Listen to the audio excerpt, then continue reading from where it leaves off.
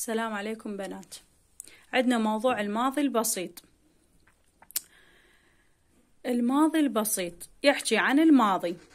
Yesterday last ago. إذا شفنا بالجملة yesterday last ago معناها هاي الجملة لازم نحلها بالماضي. قاعدة الماضي ذاك اليوم شرحنا. Subject فاعل زائدا فعل. أما يكون بإيدي أو يكون irregular verb يعني فعل ماضي شاذ. شواذ انتو تعرفوها. play played اخلي له ايدي.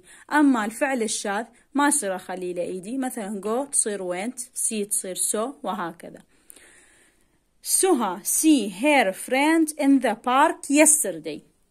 بين قوسين مخليت لك سي معناها بالحل انتي تجين بس تحلين بين القوسين. شفتي see ما تعرفين شلون تحليها. تجين تشوفين الجملة.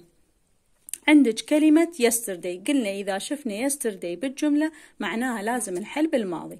نجي على الفعل قاعدة الماضي. قلنا فاعل ورا فعل لازم يكون ب ed أو فعل شاذ. هنا عندك القاعدة. أجي أطبق. هنا الفاعل. وراها جاي see ال see شنو؟ مضارع. أحوله إلى ماضي. يصير أخلي له ed؟ لا ما يصير لأن هذا من الأفعال الشاذة. أخلي له شنو؟ يصير شنو؟ see تصير saw مو ساو. تنقري saw نجي هنا. نستخدم الفعل المساعد didn't عند النفي. ونستخدم did للسؤال.